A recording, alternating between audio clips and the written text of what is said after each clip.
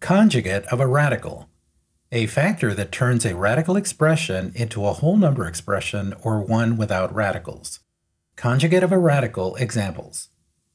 The conjugate of square root of 2 is square root of 2. This means that when you multiply square root of 2 by itself, you get square root of 2 squared, or 2, thus removing the radical sign.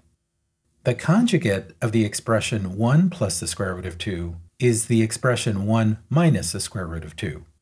When you multiply 1 plus the square root of 2 by 1 minus the square root of 2, you get four terms using the FOIL method.